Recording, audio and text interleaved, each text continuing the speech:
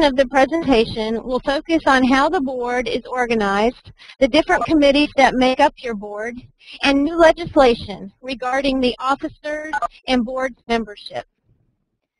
In highlighting the different disciplinary paragraphs, I'll be referring to new paragraph numbers from the 2012 book discipline.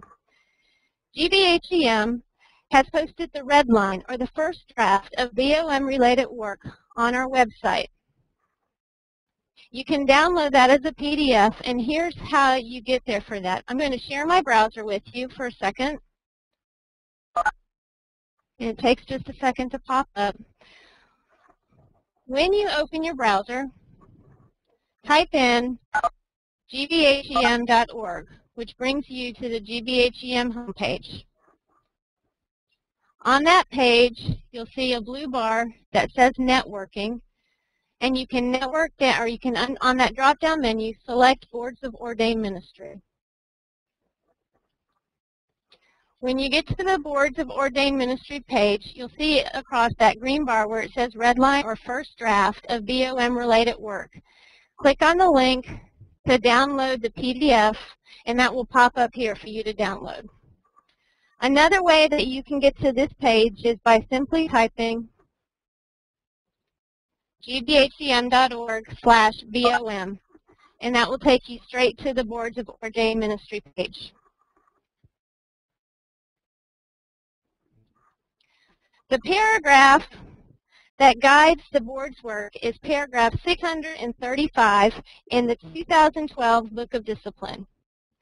To begin with, board members are elected by the annual conference to a four-year term and cannot serve for more than 12 consecutive years. The board's work is funded through the Conference Council on Finance and Administration. The discipline does outline minimum requirements for who is represented in the board membership. You can see that there is a requirement for deacons and elders to serve on the board, associate members and local pastors, and as well as a good mix of laity and clergy. If you look here at the requirement for local pastor, the 2012 General Conference clarified that a local pastor may serve on the board. However, that person must be a full-time local pastor and someone who has completed the course of study. Take a second now to look at your board roster. Are all of these categories represented? Are there additional members that need to be added to fulfill these requirements? I'll give you a minute or two to look at that and confirm who fulfills the different requirements that are listed here. If you don't have it with you, I will be sharing this slide presentation with you at the end of today so that you can use this for future reference. Okay. The discipline does not di dictate all of the board's officers. Your board can decide its officers based on the needs of your annual conference. However, a couple positions are required, namely the chair and the BOM registrar. Other positions are at the board's discretion and are typically the chairpersons of different subcommittees. Additionally, the General Conference this year added a new position or the possibility of a new officer, the Vocational Discernment Coordinator. And this is what the discipline says about it in the 2012 edition. As you can see, there is not much there about the Vocational Discernment Coordinator and that person's responsibilities. The legislation was intentionally written to be permissive rather than restrictive, so annual conferences can structure this position in the way that works the best for them. However, the intent is to have someone at the board level who works with district committees, district superintendents, and the board to ensure that the candidacy mentoring process runs smoothly. This position was recommended by the Study of Ministry Commission and is someone with key responsibility for instituting group candidacy mentoring in your annual conference and training candidacy mentors. This person can also serve as an additional point of contact other than the district superintendent for those who are entering candidacy. Because so many candidates have reported that beginning candidacy or being assigned a mentor was a roadblock to the candidacy process. the Vocational Discernment Coordinator position provides another way to ensure a good beginning for candidates. The person who fulfills these responsibilities can be a member of your board or a staff person with full or part-time responsibilities in this area. Now I want to look at the committees you'll need to have established in carrying out your work. As you can see, there are three required committees. The Executive Committee, the Conference Relations Committee, and the District Committees on Ordained Ministry, which function as subcommittees of the Board. I'll highlight the required committees on the next few slides, but other possible groups can be formed around issues of programming and other board functions. Other than those that are required, you establish committees at your board's discretion, and they are formed in such a way as to help you complete your board's work. So I've listed here some committees that you can consider as you organize your board, but you may have others. That will be up to you.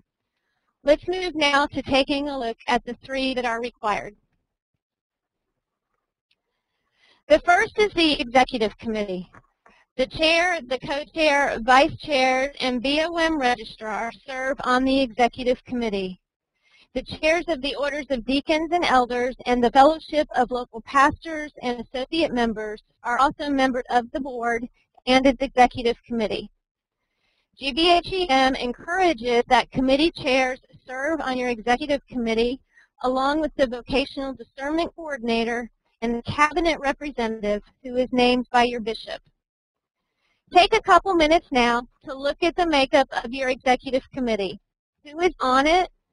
What tasks are assigned to each member? Are there any committees not represented that need to have someone there? Now we're going to shift and talk about the Conference Relations Committee. Another change coming out of this year's General Conference is the mandate that all boards shall have a Conference Relations Committee or a CRC. This shall language is new from the 2012 General Conference and will be found in the new discipline paragraph 635.1. Most boards already had this committee, but some assigned the functions of conference relations to another subgroup. Many changes were made in the administrative fair process and complaint process this year. One of the outcomes from that legislation was to remove ineffectiveness from the judicial complaint process. This means that any recommendation to remove a clergy person from active status because of ineffectiveness will now solely be handled through an administrative fair process hearing overseen by the board. Additionally, the responsibility to hear any request for an involuntary status change and to make a recommendation to the board regarding the request is specifically assigned to the Conference Relations Committee. So any fair process hearing that your annual conference board deals with will start first in the Conference Relations Committee. Since these responsibilities are now clearly assigned to the CRC, the language in the discipline also changed to mandate a conference relations committee for all boards. Take a minute now to discuss your board's CRC or to look at the roster. Who is the chair and who are the members of that committee? Note as well that the discipline prohibits district superintendents from serving on the conference relations committee. So do you need to make any adjustments to the committee regarding the participation of district superintendents or do you need to look at your committee for gender balance and for racial ethnic diversity? Take just a minute to look at that and I'll be right back. We will provide more detailed information about the administrative fair process at the September 12th webinar. We will also offer a workshop for conference relations chairs at the training event this October in Dallas. I strongly encourage the chairs of this committee to attend both of these events. The final committee we'll look at today is the District Committee on Ordained Ministry.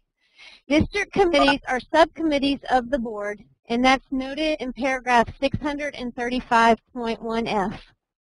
The board names a representative for each district committee, and the board is responsible for training all DCOM members. The District Committee on Ordained Ministries responsibilities will be outlined in paragraph 666 in the 2012 Book of Discipline. And as we talk about training the district committees, I want to show you where the training resources are on the GBHEM website. I'm going to share my browser with you again. And as you launch your browser, you can simply type in gbhem.org slash BOM training.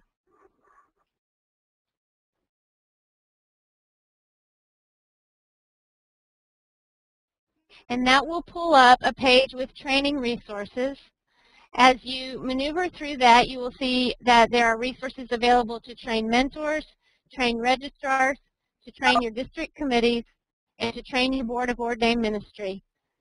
You can simply click on one of those tabs and scroll down and you will see PowerPoint presentations, different PDFs, and different types of guidelines and information that you can use in putting your training sessions together.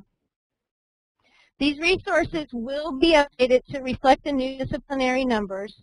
For now, paragraphs referred to are from the 2008 Book of Discipline, and I am working to get this updated as quickly as possible.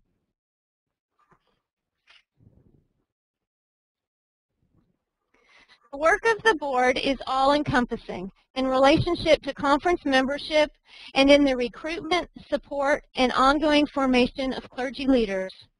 From recruitment of new candidates to discernment events about set-apart ministry, to continuing formation for active clergy, to helping clergy transition into retirement, the work and ministry of the board provides ongoing support throughout a candidate's and clergy's relationship to the annual conference. Additionally, the board makes recommendations for final action to the clergy, clergy session of the annual conference regarding all status changes and membership issues, from licensing to provisional membership to ordination or to termination. There are three areas that you'll need to pay particular attention to this year because of the legislative changes and those are transitional leave, security of appointment, and less than full-time appointment for elders. All three of these were affected by decisions made at General Conference and will impact the board's work in new ways. We will look more closely at the details of these paragraphs during the September 12 webinar. But for now, you can reference the new paragraphs in the Redline edition of the discipline for more information. The transitional leave status was changed to add a paragraph allowing for the status of transitional leave for those who do not receive an appointment. The request for less than full-time appointment can now be initiated by the bishop or by the elder who will serve less than full-time. This type of appointment must also be recommended by the board to the clergy session for approval. And we are anticipating, just as you are, this fall's decision of the Judicial Council regarding security of appointment. So stay tuned for what's to come regarding that. As we close this portion of the webinar, I want to show you the banner head that our office uses for our e-newsletters. The one specifically for boards is green. We have different colors for different groups, but we always use the same format, so it will look like this. And I've been hearing from a few people lately that they still are not receiving these newsletters, which means that GBHEM does not have your updated contact information for new board officers. Please let me know if that is the case so we can work with you to update officers for the new quadrennium. My contact information will be on the next slide. Send me an email or type something into the Q&A section here, and I will follow up with you. We have already sent information out to register for the September 12th webinar on legislation, as well as information about the BOM quadrennial training event that will be in Dallas this October. Registration has opened for each of these with information in the e-newsletters on how to register. This provides an overview of the organization and work of the board. While we haven't had time today to go through all the details, my hope is that you have received some good resources and places to seek information when you need it. One of the resources available on the BOM webpage I shared earlier is the BOM Handbook. As Glenn mentioned, you can get to the handbook by typing in gbhem.org slash BOM Handbook. The handbook gives more details for each area of the board's work